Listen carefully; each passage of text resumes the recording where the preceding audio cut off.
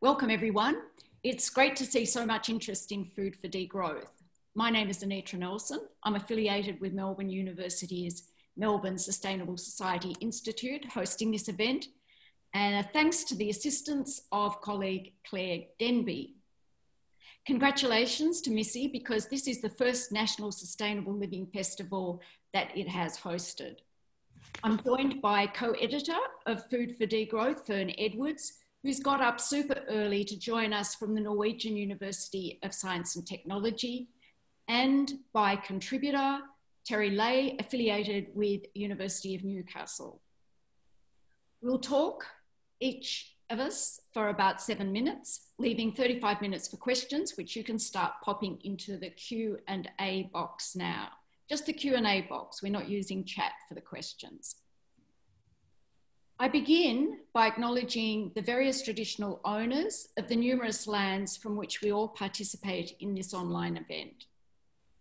I respectfully acknowledge elders past, present and future of the Kulin Nation on whose unceded lands I live and work, specifically the Dja Dja Wurrung, also known as the Jaara people.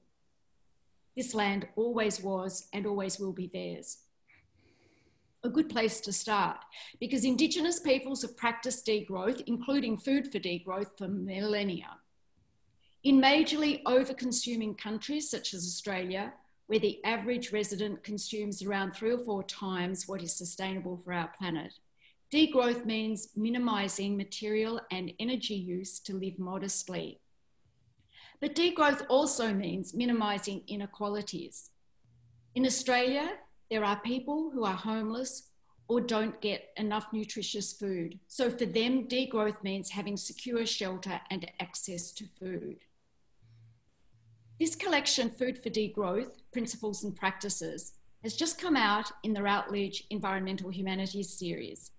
It follows Housing for Degrowth, which came out mid 2018. We hope a range of degrowth topics and themes will follow. We called for contributors um, at international degrowth conferences that often attract a couple of thousand participants and hundreds of papers. Such conferences are key because the movement operates as an open, decentralized network rather than with a headquarters.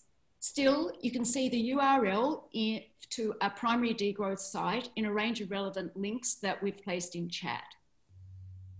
In terms of activism, degrowth functions around campaigns such as protesting against all advertising and unnecessary, say, car and aeroplane infrastructure, fighting for food sovereignty and Indigenous peoples' control over land and self provisioning. Yet, key to our collection, many activists experiment with changing household practices and create novel and collective forms of organisation towards a degrowth future. The more than 30 contributors are activist scholars, most affiliated with universities, from doctoral students through to professors. Many chapters are co-authored, representing collectives, and they use methods known as participatory action research, ethnography, and autoethnography.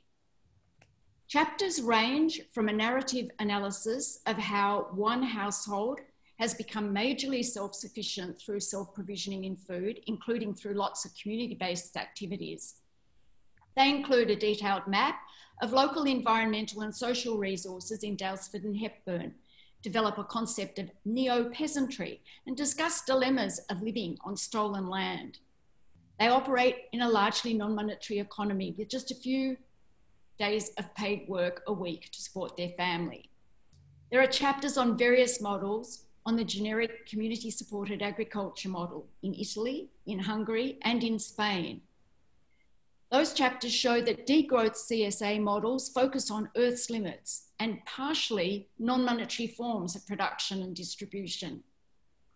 There are statistical and qualitative analyses of traditional backyard vegetable and fruit growing and sharing in the Czech Republic and various assessments of ways in which caring economies fail as well as flourish within degrowth collective activities. You'll encounter degrowth terms such as frugal abundance, convivial tools, and open relocalization. Chapters include a critique of circular economies, Another contrasts approaches to waste by the United Nations Food and Agriculture Organization and a degrowth food rescue initiative. Is a review of the collaborative Budapest Food City Lab initiatives. Yet another chapter reports on regaining Indigenous control of food provisioning. And there's an analysis of ways in which urban women in Nairobi are working against the pressures to turn standard products in supermarkets by cleverly maintaining nutritious food supplies from rural areas and traditional food preparation. Well, I hope that's given you a bit of a flavour of the book. So I'm going to turn you over now to Ferne. Thank you, Anitra. Good morning, everyone. Hi from Trondheim in Norway. Um, so what I'm going to do is draw out some of the key points raised in the chapters that speak to critical food studies. The first point's about care. Care is coming up more and more in labour and urban studies literature these days, especially due to works of authors such as Tronto and Fisher, Pigde Palekasa, and Williams, the later of which advocates for careful justice in the city. In three chapters by Pungas, Bruckner, and Holmes, um, they all speak to they all seek to put care and reproduction at the centre of societal analysis and attention. Economic profit is displaced by care care for others, care for nature, care for oneself, reciprocal caring about, caregiving, and care receiving.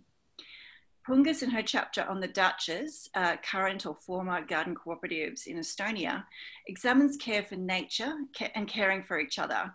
So, for example, grandmothers who want their grandchildren to have only the healthiest and tastiest clean food. Um, she also talks about caring for oneself, where gardening can improve mental and physical health, decreases stress and anxiety, counters feelings of dependence and uselessness, and offers spiritual benefits through uh, a meaningful activity. Pungas uh, offers a, a, great quote from a gardener that captures how degrowth encourages a redirection away from economic values or to purely economic values to consider others, where she says, See the rose is blossoming and I am relaxing. Why should I then calculate the costs? Alternatively, uh, Bruckner focuses on care by researching women's revaluing of traditional consumption of African indigenous leafy vegetables, um, which is sort of superfoods, and more less affectionately known as weeds in Kenya. Women's care for their families and friends through food with a degrowth focus flips the switch from a, a focus um, on economic productivity to instead consider holistic factors such as nutrition, climate resilience, and the co benefits of crop, insect, people, and place diversity, as well as women's cultural knowledge and labour inequalities. Holmes and colleagues um, investigates care with respect to gender labour in community supported agriculture in Catalonia, where she looks behind um, assumptions to consider who is doing the caring and are they being care, um, adequately cared for in return. They recognise that more research is needed to consider the invisible and unpaid care present in alternative food activities and the uncertain place of family, household, and gendered expectations of self and others. So, the second point I want to draw on is sharing. Food sharing is also being widely discussed these days in the sharing cities and collaborative consumption literature, in addition to as a reaction against more precarious and often more isolated societies, and with respect to changing technologies that in turn influence how we relate to each other. Sharing in Food for Degrowth is most apparent in sharing knowledge and skills to improve and scale up and out the movement. The chapter by Sakal and Bozaks dive into living labs in Budapest to further push ahead potential local, local applications for degrowth. And here, co creation, an increasingly popular term, is being used um, to explain the process to help bring people together um, for just and sustainable food practices to help innovate, brainstorm, and develop ideas that can be adapted to suit local conditions and concerns. So that brings me to my third point of degrowth networks or scaling up food for degrowth practices. And co creation makes another appearance here as a form of sharing ideas across sectors. In the chapter I wrote with Sergio Pedro and Sarah Roca, we explore multi level forms of food governance in our two international just and sustainable food projects Um, so complementing their Portuguese speaking international network with my work on EdiCitNet, a European project that works in 12 cities across the world to establish an international edible cities network. And we use these two examples to discuss approaches to help people come together to share reflections and opportunities um, in order to overcome barriers that can occur across different sectors, places, and backgrounds, all based on degrowth and food as commons principles. And my final point is on the scaling up of food for degrowth through technology, discussed in a chapter I wrote with Ricard Espelt on sharing new technologies and community sort of supported agricultures in Barcelona to consider how their politics is shaped by and can shape the tools they use. Applying my close-up case study work of a CSA in Barcelona to the amazing extensive mapping work of CSAs done by Ricard, we see how technology can be used for good and think about the strategies to make sure it stays that way as more um, community supported agriculture uh, seek to extend and strengthen the ethical degrowth consumption practices. So that's a lot of inspiring and practical examples in the book. Um, I'd like to next hand it over to Terry, who'll talk about his chapter and his experiences. Thank you. Hi, um, I'm actually going to probably just uh, talk about my chapter at the end of this. I, I think it's um, sort of interesting to look at the book taken as a whole. I found the book very inspiring. I, I particularly like the way that the book goes into really detailed descriptions of various kinds of degrowth food initiatives around the world. And, and there's a great variety of these uh, discussed in the book. Um, what, I, what, one of the things, um, so, so, some of these chapters are very um, kind of optimistic and and and and talk about the the the, the you know on the lines of we've got this right and this is how we do it and this this is what this is what uh, an alternative food initiative sh should be organized like. Particularly i'm thinking of the one about the csa the um, community supported agriculture organization near venice which runs on a so solidarity cooperative uh, framework. And and there are other chapters like this too and and, and to some extent I, I some sometimes these initiatives aren't all that uh, you know old they're quite recent um, and you know and so we'll see how these work out but they're they're massively interesting and and the, and the details terrific. Um, other chapters concentrate on I, I think and, and probably it's high time to doing this in the degrowth movement some of the problems with alternative food initiatives for example, it's hard to compete on price with the mass production supermarket chains if you're using a, a very small scale and if you're paying the farm workers a, a decent wage. Um, so, so various authors like Stench Koch on Hungary and uh, Sakel and so on talk about these issues. Um, there's also a discussion of the difficulty um, of running an organization like a CSA or a food cooperative on voluntary labor and, and how that this can interfere with people's care work at home and, and with their necessity to, to, to get a, a job and have an income and so on and how particular, you know, like you have to go and collect your vegetables on Thursday night at eight o'clock and this can actually be impossible for some people. And also um, the, pri the price is sometimes prohibitive for certain sections of the community. Uh, and and and some of the uh, one chapter, for example, the one by Holmes talks about the peaks and declines in in membership of food alternative organisations, uh, and and points to the fact that that as yet, at any rate, these these um, in, experiments are are somewhat um, a, small part of the total food landscape. For example, three to four percent of land in in Hungary is devoted to uh, to organic agriculture the problems of getting access to land. You know, a lot of land is monopolized by large companies and these sort of things.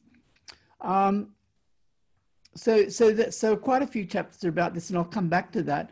Another, another thing to, to be pointed out, I think, is that um, a lot of the chapters which don't um, talk about these problems are talking about non-monetary, purely non-monetary alternatives. Obviously, the problems are located in attempt to making these initiatives work in the context of a market economy. And some of the non-monetary initiatives are totally fascinating. For example, self-provisioning in the Czech Republic and Europe is, is up to, you know, up to 50% of people's intake of fruit and vegetables is coming from this sort of source. Um, the push for African leafy green vegetables, which is totally initi initiated at a local level and doesn't involve any monetary exchange necessarily. Sometimes it does, but more often it doesn't. Um, the, the cooperatives, um, sort of little allotment cooperatives in Estonia that they talk about, these are really interesting discussions. Um, and I and I'm I'm kind of looking at this through through the lens of my my book that I'm writing at the moment on permaculture, the politics of permaculture, and like in that book, I argue that we we shouldn't should not see the market economy with cooperatives as the feasible long term uh, outcome of degrowth, but what we need to look at the, these kind of um, market alternatives that are being developed now as as necessary part of a transition to a, a more non-monetary to uh, eventual outcome. If we look at it like this, what we can suggest is that these initiatives may be seen as hybrids that combine some aspects of the marketplace with, with aspects of trying to make a commons economy work and trying to make an ethical and caring economy work. Um, and what, what we could say coming out of this is a number of, of lessons, if you like. Um, first of all, that um, the first implication is that it's not an easy thing to make um, an aspect of the commons economy work in a market economy, and some of the uh, of the chapters in this book explain why that that sort of thing. The second thing is that we have to pay attention if we're involved in, in this sort of initiative with the market aspects as well as the non-market aspects, and kind of get both right. So, for example, one of the uh, one of the problems that um, that, that is experienced is a situation where you've got an organization, it's a food cooperative, and every um, people are expected to volunteer in order to make it more of a, a, a, gift economy or sharing economy. Everyone's expected to volunteer their work to organize the, the, the collective. And sometimes that's a bit difficult to make, to make that hap happen or to involve people. So in cases like that, and as, as, that, as that particular chapter says, an alternative is to actually pay someone to do some of that organizing sort of you know, like moving it in a more market direction, but but but not not giving up on the aims of the project in the first place. Um, we also need to to recognise that there are sometimes problems with totally non-monetary alternatives. That, for example, the problem of getting access to land and equipment unless you have money to pay for it and buy it. Even the quarter acre block that Patrick Jones and Meg Ulman talk about in, in one of the early chapters is something that they have been able to purchase, you know, on the market. Um, and that members need money for non, non-food expenses. So they're, they're enforced to work in jobs where, where it not, doesn't necessarily give them much time or energy to involve themselves in a non-market alternative food cooperative or whatever. And, and so fi finally, I'd probably say that, um, that in, in the long run, we have to look at um, a non a non-market economy is a way to go to resolve some of these problems. So that's probably a fairly controversial perspective, but anyway, that I'll just end with, I won't end with that. Now I'll just briefly, I think I've got another two minutes. I'll just talk about my chapter on Melbourne. Basically what I was looking at in Melbourne, is it possible to sustain um, food production for people living in Melbourne without without the sort of fossil fuel subsidized transport that we now use. You know, we know we know that vast amounts of the food that's now used in Melbourne comes from huge distances away using fossil fuels to transport that, whether it's on ships or planes or, or just diesel trucks or trains or whatever. And it seems likely to me that, it, that in a future with only renewable energy, it won't be possible to, to, to really put so much energy. It will make a lot more sense to localize food production. So given that kind of premise, then you, look at the situation of how much land is necessary for that. And I estimate like something like, um, I think it's 0.8 of a hectare for, for, the, for the food, for fairly food minimal needs for people in Melbourne. At present, people in Melbourne, for a family of five, in present, people in Melbourne are using up to 19 hectares for their food needs. This is largely because of huge amounts of beef, cattle, and sheep that, are, that they're eating and so on. Anyway, my, my conclusion basically is that we would need about five times the land we now have in the suburbs of Melbourne, even if we used every football field and railway edge to grow things, uh, to, to grow enough food for the people in Melbourne. So consequently, I argue at the end of the chapter that we probably, for a sustainable future, in the long term, what we're looking at is a much more distributed population sort of uh, with, with small towns surrounded by farmland. So I'll finish with that. Great, thanks very much. Um, I apologize because it seems like the, um, the URLs that I thought I'd put in didn't go up, but they are up there now in chat for those people who um, have looked before and didn't find them. They are there now. Um, so we'll start, we've got um, three, three big questions actually. Um, and of course, everyone is invited to pop some, some questions into Q&A as they, as they desire. Um, so the first question was, where there is land scarcity and boom population, how can we get uh, sustainable productivity? And I suppose this one, this question really comes back to cities, which is that question that to some extent you're addressing in your chapter, or perhaps not so much addressing as a raising as a really key issue. Um, do either of you, Ferne or Terry, have something to say about land scarcity and boom population and sustainable production? Yeah, um, I, I don't mind. Yeah, I, I mean, I, okay, I don't, I don't necessarily think there, there, there is but what we know about population is that the best way to control it is, is to, to increase the security that people have in their old age. So they're not having lots of children to, to, to deal with the insecurity of being old, one. And the second thing is to make sure that women have power and are educated and can actually make choices about, about giving birth to children. And if we have both of those conditions met, we'll see populations start to stabilize out. Uh, I, am not that worried about that in the long term if we can actually change things. Uh, what, I, what I'd say about that is we don't actually have land scarcity on the, on the planet at the moment in terms of the, the population that we've got. What, what we have is a, a massive overuse of land for things that are actually not necessary. That, you know, I, I mean, the classic example would be that we we could get by with 2.4% of Victoria's total land area if we were, if we were eating chickens and small livestock grown locally, and you know as our protein supply, and we're just growing our own veg, veg, vegetables and cereals nearby and so on. Whereas at the at the moment we're using 70% of Victoria's land. I mean that's just ridiculous. It's crazy.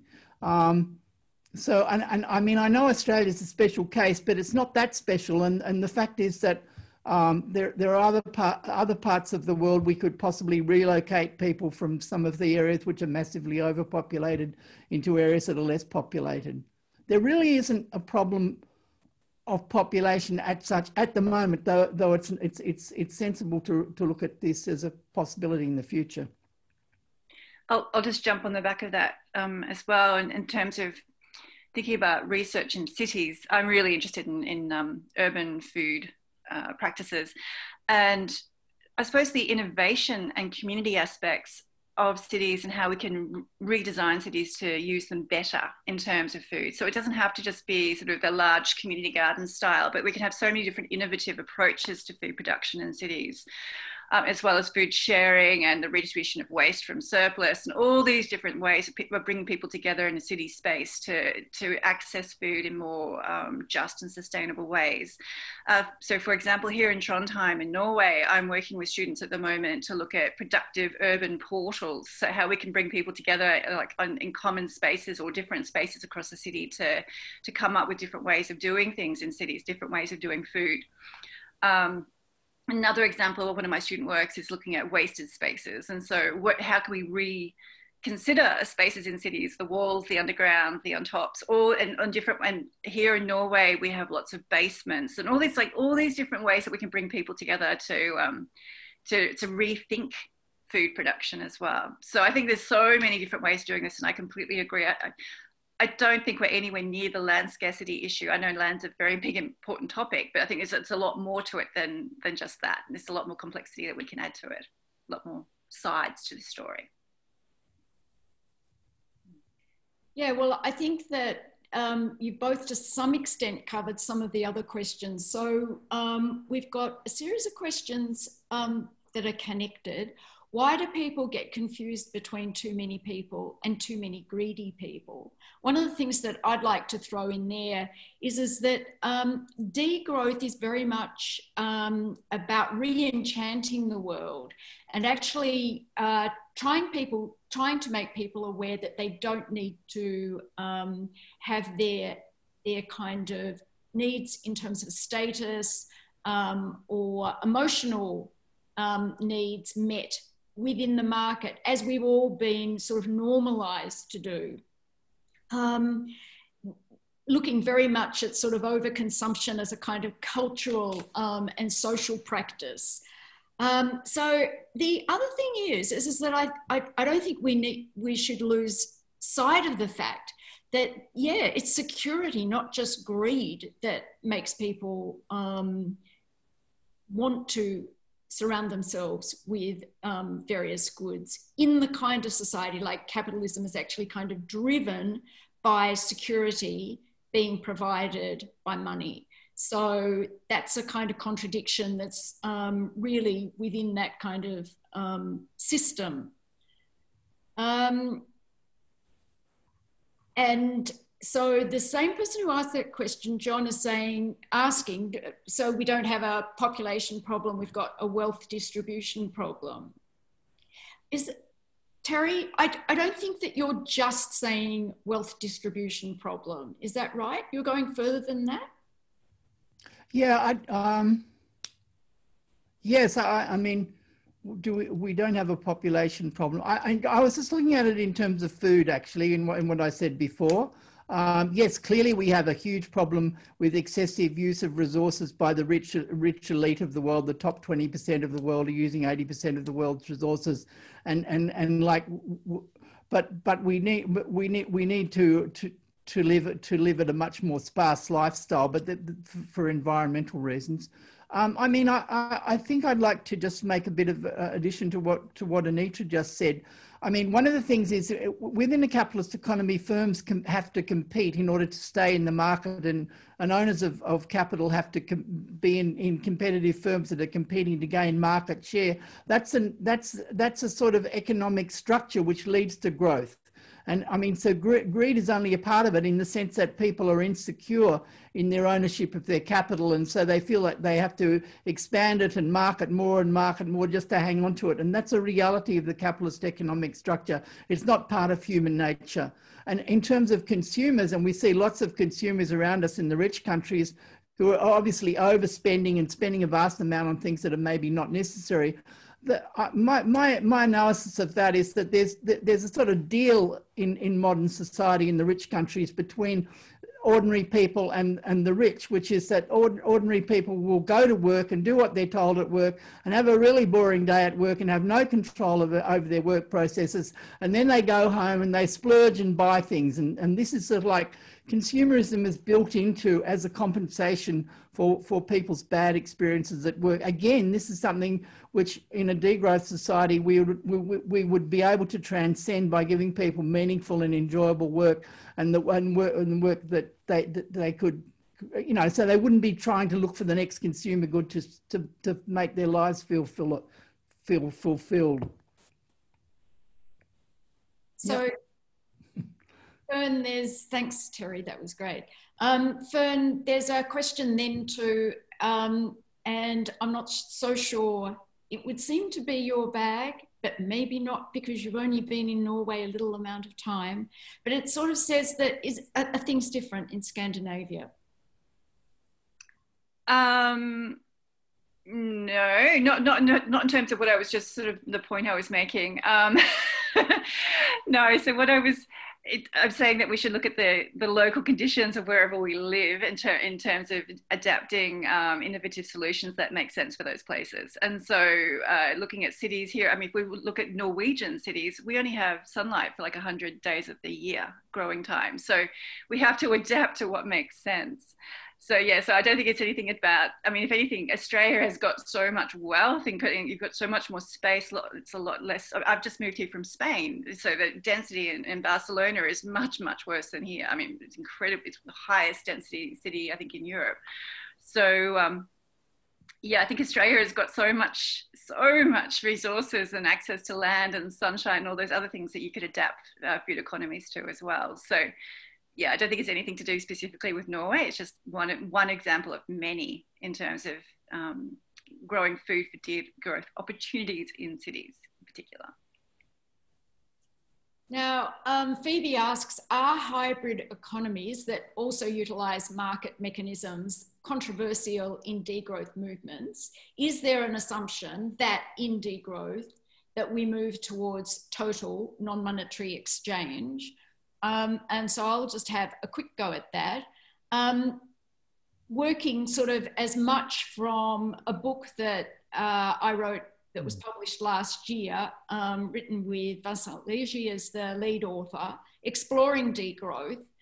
And there we put forward a chapter that's on a kind of degrowth project, which pulls together numbers of different strategies um, that people have some confidence um, in terms of moving forward.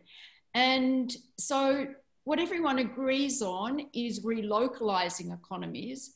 Um, but there's uh, ways in which um, people's needs could be met in kind by a kind of public service that might run pretty much keep running on a waged kind of uh, level.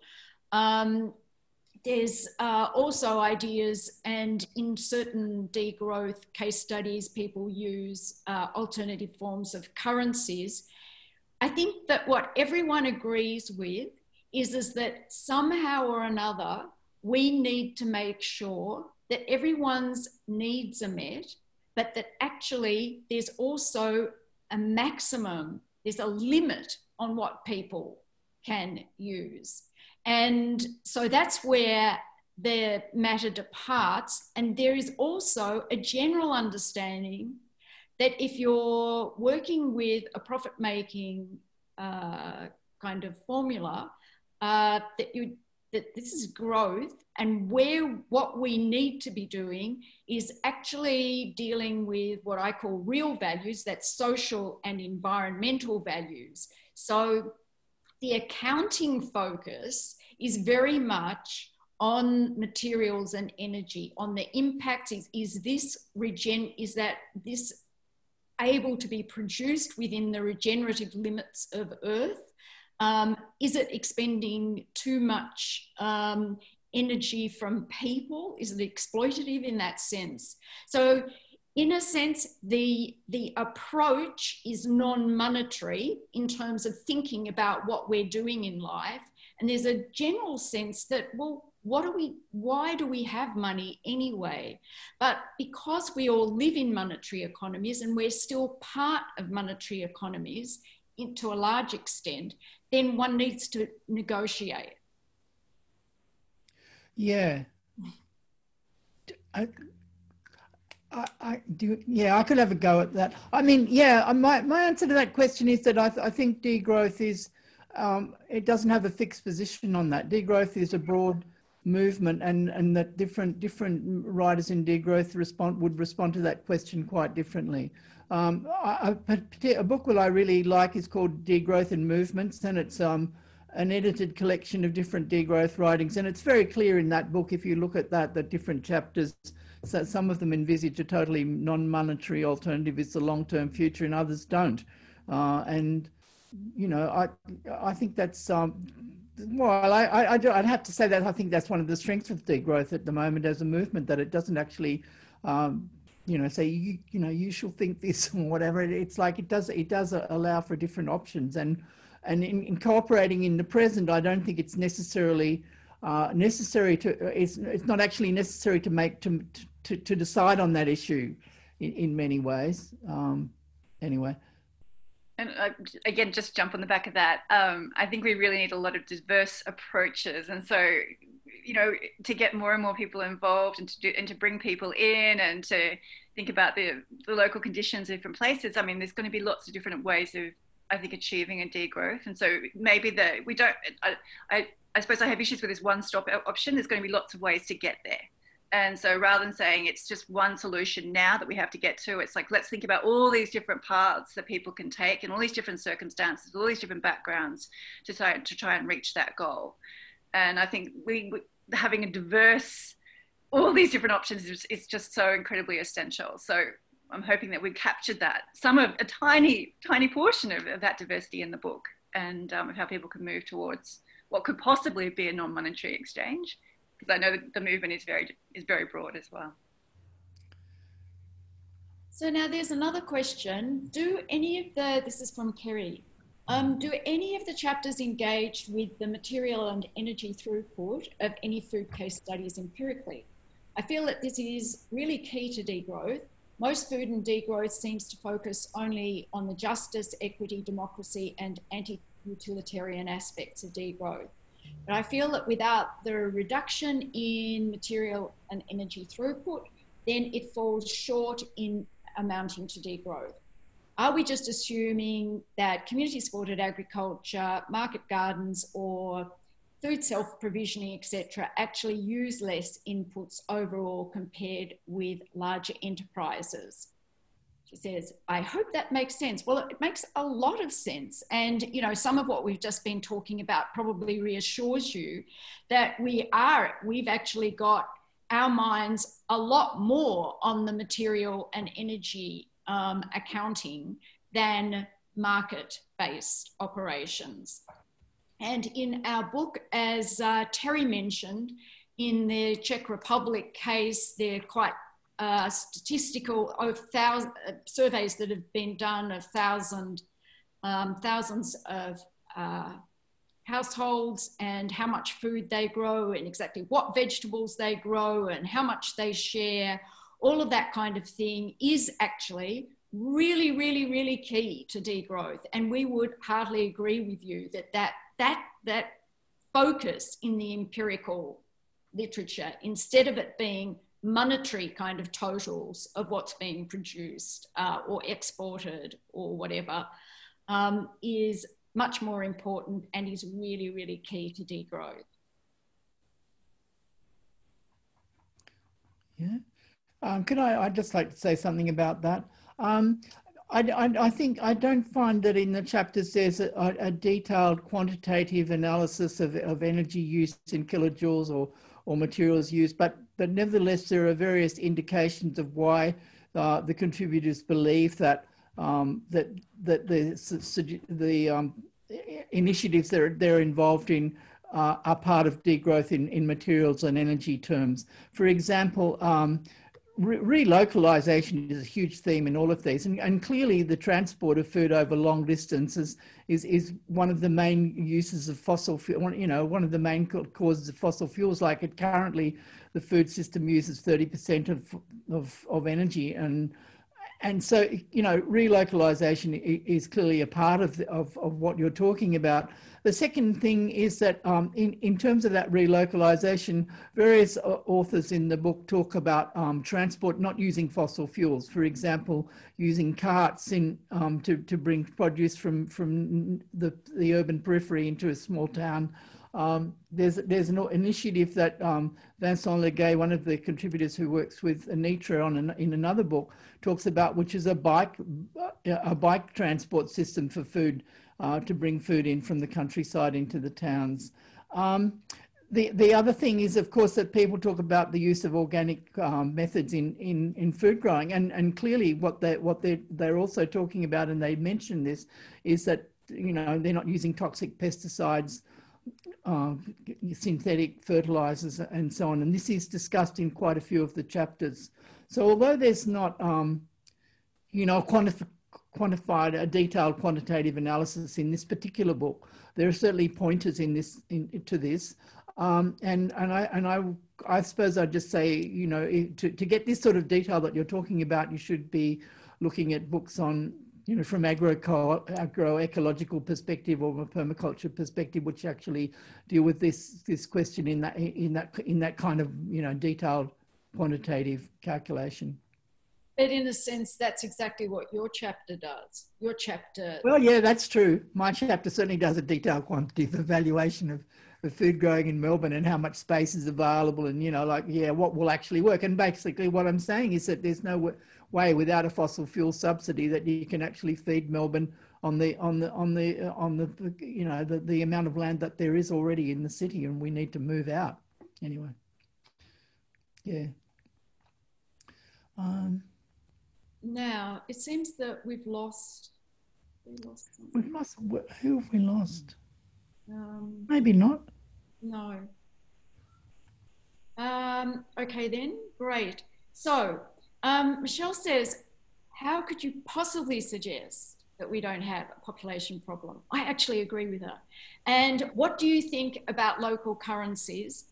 Um, my position on local currencies is, is that it's a bit, um, the problem is, is as though, although we refer to them in a generic way like that, they actually operate in quite different ways. So where you have developed a local currency system which uses in your own mind um, and all the minds of the people in the group, um, the, let's call it a point system, um, the points are equal, one point is equal to one dollar, you're essentially just creating a credit system within the ordinary monetary economy. And from my point of view, it actually doesn't mean that you've changed anything much at all, except that you developed um, some kind of trust with other people that you borrow and lend.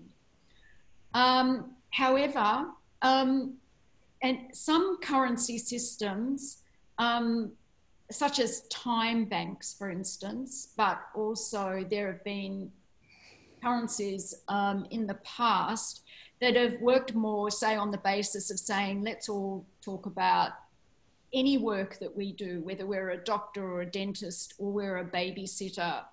Um, and we say give five points for every hour of whatever work it is. Um, so that's kind of moving in a bit of a different direction, but without everything else moving in a different direction, it, from my point of view, local currencies don't necessarily change terribly much at all. In fact, you know, and you'll find that if you actually have a good look at alternative currency literature. So, what do you, Ferne, think about that? Um, I haven't really gone so much into alternative currencies. I mean, I know that they the people are using them, say, in Barcelona with the CIC, um, and I think it's been really popular there, and it's it's ongoing. It's been, it's been a long term project that's been successful um, in terms of the you know different ways of exchanging food um, and putting more priority on ecological and labor and all that kind of the other the other values that degrowth is sort of looking at. Um, yeah, no, I don't. No, I, I haven't really used alternative economy so much. I'm sorry, uh, more food practices rather than monetary or non-monetary aspect. I think actually the Barcelona um, example really proves my point because it's a really um, radical um, social um, movement that's engaged in all kinds of different forms of production at the same time as using the local currency. Mm.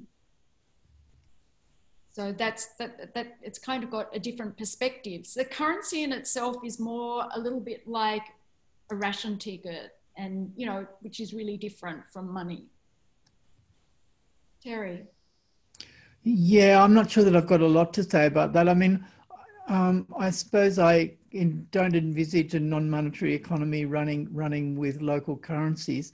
On the other hand, I think that local currencies can be can be useful at the present time um, in giving people a sense of security in in exchanging labour with each other. I mean, that's basically what they do, you know, in the sense that uh, people exchange labour at the same rate, so that that, that they get a certain amount of local currency dollars for working for an hour, whatever kind of work it is, and they swap that.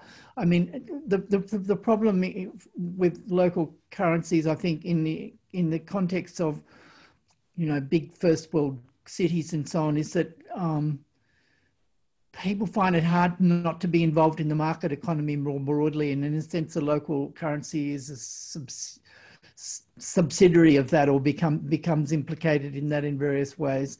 You know like so if you're in a professional job and you're and you're working 70 hours a week or 60 or 50 hours a week whatever you're not you're not going to um, think that you know it, it's worth your while to be involve yourself in a local currency. So there's all sorts of class implications in the way they're taken up within the current context. I mean that doesn't mean they're a bad idea but uh, all i'm saying is that you can't you can't look at them in any particular case without analysing how they fit into the local economy more broadly. I don't know, that'd be my take on it. So um, Vicky asks, um, Terry seems to suggest that at least here in Victoria, we should be producing food on far less land, that is, raising smaller animals, such as chickens, where does the farming of dairy and beef cattle come into this, including for export? Yeah, okay. So definitely um, in, not, and not, not, not just using smaller animals, but also eating a more vegetarian diet is obviously part, part of that as well. Um, cl- clearly, you can get more protein out of, out of a hectare of you know soybeans than you can get out of a hectare of pasture land. Um, and, and but but but it's but yeah definitely beef and dairy cattle are a big problem. And the fact that we're i mean exporting them yeah that that's entirely true. It's like we're using our land in australia for where for purposes of feeding the middle class in other countries uh, on on on food from from any kind of nutritional point of view that they don't actually need uh, at the same time as our wildlife struggles to survive. You know, that we've got a huge rate of extinction because we're using up all this land. So, yep, absolutely. Did you want to say anything, Ferne? No, no, I, I agree. I think um, I think we need to adapt more to what's going on locally rather than um, keep going with the same, you know, the same diet. I think we need to rethink that diet. Mm-hmm. Yeah. And uh, when we have um, international degrowth conferences, typically the the food um, not just comes from local areas and it's seasonal and um, it's primarily vegetarian, um, but a lot is dumpster dived for, and yeah, so it's like doing with what you have what you can. Now, um, Elena asks, what are some examples of regenerative farming with co-located housing, given that regenerative farming requires more labour and housing is so expensive? These work against each other in implementation, particularly where land use zoning prohibits multiple occupancy on agricultural land. Um, I know of Twin Oaks in, um, in Virginia, um, in the United States. Um, that's an example of that. And there are a variety um, of other examples. Um, I'm just, I know someone who's in, very involved, in fact, um, is probably considered the leader of the, the land sovereignty movement here in, um, or food sovereignty movement in, in Victoria. Um, and they run a pig farm and they're degrowthers. And it's a you know it's a big joint sort of household. So that would be another example. Um, but they definitely these um, exist and some of the examples that we have in our book involve those those kinds of um, cases. Terry or Ferne can you throw in some examples you're aware of or? Mm. Yeah, I'll go first. Yeah. Okay. Um, I know a Purple Pear Farm in, in the Hunter Valley. Um, that's that's a, um, a biodynamic and organic farm run on permaculture principles.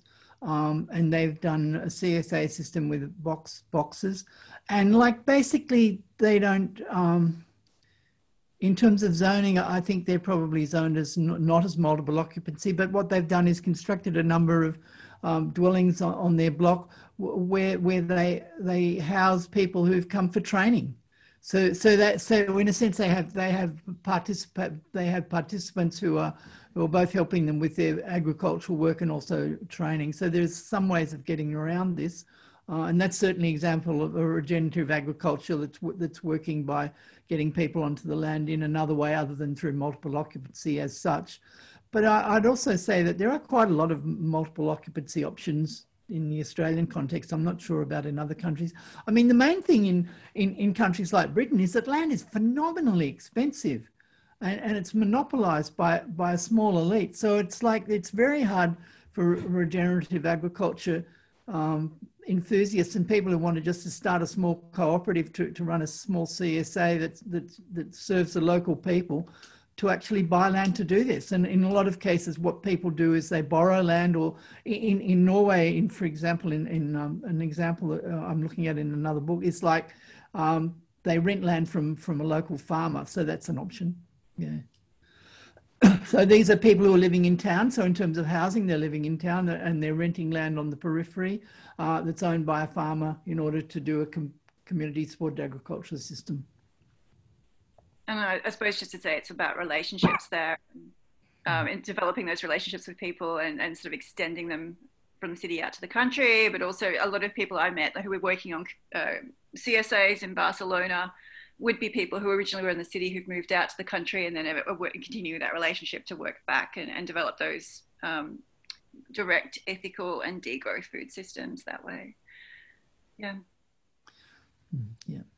So Adam's asking, do any of the panelists have thoughts on how ideas of degrowth might be used to engage with mainstream production systems and corporations, for example, the duopoly of Coles and Woolies in Australia? And um, no, that I that that's really got me stumped. um, I've uh, uh, I've been approached by someone who works in business organisation about um, giving a talk um, to a conference uh, where there's a whole big workshop, and it's mainly with business people.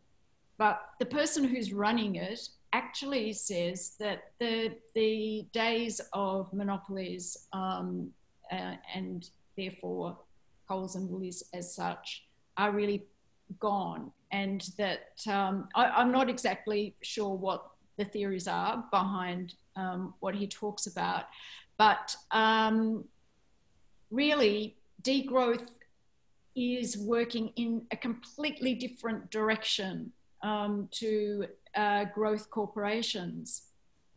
They're not, they're there to make money, they're not there to meet people's needs. And degrowth is about meeting people's needs. And uh, so we're looking at uh, local production and small enterprises and people uh, selling fresh produce at markets, yeah, very short supply chains, not these massive supply chains that, you know, if you go into Coles and Woolies, you probably got every country in the world represented in terms of where their food has come from. So really quite different. But Ferne or Terry, do you have anything to say about that? Just really, really quickly, just a quick comment is um, it's I see degrowth as well, food for degrowth is opening up spaces outside of these this dominance of the, of you know Woolies and Coles, you know. So it's um, it's more. I mean, I, I always go back to sort of Gibson Graham's work, you know, sort of look recognizing the how how these there's that sort of false belief that there's only one option you know? And it's like what we're trying to do is break open that space and say there's there are so many other ways of um, addressing food. It might not be complete. It might be a transitionary step.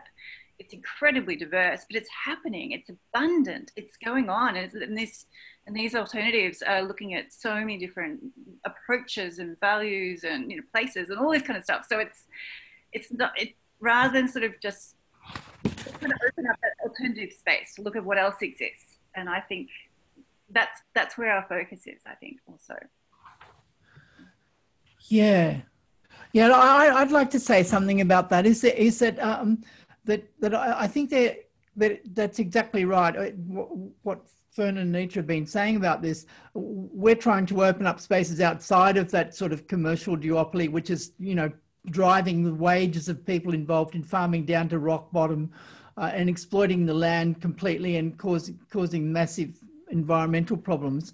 Um, and I, I don't know. I, I, suppose one of the things I really like about this book is that it talks about surprising amounts of food being go, grown and produced outside of these formal systems, particularly when we're looking at the at the chapters which look at Eastern Europe. You know, like the chapter on um, the what they call the dachas in Estonia, which is a, like um, co- allotment cooperatives that just out placed outside of the ta- large towns and small cities and so on, where, where, where members who are like urban workers, whatever, go go to grow vegetables. Now, and the same sort of thing, thing being described in Hungary in another chapter, and and the Czech Republic in another chapter. And, and like, what what's so amazing about these is that they're growing like the, the something like 40% of their food needs from these allotments. Now, that's a huge dent in the duopoly of Coles and Woolworths. And what uh, the, the, in, in, the Australian context, people are buying, you know, 90% or 95% of their food from commercial outlets. If we were just sort of to to, to embrace a lot more food self-provisioning through and community gardens and backyard gardening and roadside gardening as the permaculture movement has been emphasizing for so long, then it, it's surprising how much of a dent you could make in this system. And I'd like to see that as like it's the first stage, and then we just completely destroy this Coles and wars and do without them completely. We don't need them, you know. But we need, but but the first step is to to move on this on the thing, the easy pickings, the low hanging fruit, and that's what this book describes in some detail. Now we've only got a few minutes left. Um, but Diane said 2020 taught us that hitting the brakes on status quo, let alone a low consumption lifestyle scaled up, does indeed hack the economy and livelihoods as we know them. So, what will uh, these uh, things look like in a truly sustainable world? House, and she goes into house prices skyrocketing, um, and you know limited employment and that kind of thing and one thing that i'd say to diane is is, is that the feminism um, and degrowth alliance you know say your your austerity is not our degrowth okay so we're not talking about people who are needy going without um, what we're talking about is everyone's basic needs being met but people not having more than that. So the savings that we may, we make is not the way that capitalism makes savings, which is by making the poor people poorer, but it's about taking, redistributing money from rich people so that poor people's needs are met. So it's really quite different. It is not, it is not austerity. It's not hitting the brakes on the way that um, that people are producing and taking things from them. And I suppose that's where a lot of the monetary economy and the suspicion of the monetary economy and the way it actually functions, that those kind of tendencies occur within the monetary economy. Um, and that's why degrowth is actually very suspicious of that. And what we're experimenting with is trying to create mini worlds where that kind of thing doesn't happen and everyone's needs are met and they have shelter and housing. So if you looked at the Housing for Degrowth book that we put out, another collection in this series a couple of years ago, there you've got a whole series of ideas about how to satisfy your housing needs in a degrowth way, which doesn't involve pricing. And typically, this is withdrawing housing market models from the market system. A last few words each. Read the book. no, I recommend. There's so much going on in that book and um, lots of great examples. So, yeah. Yeah, that'd be my last comment too. It's a great book, lots of wonderful examples lots of detail, totally fascinating stories you won't you won't believe, etc. Yeah. Okay.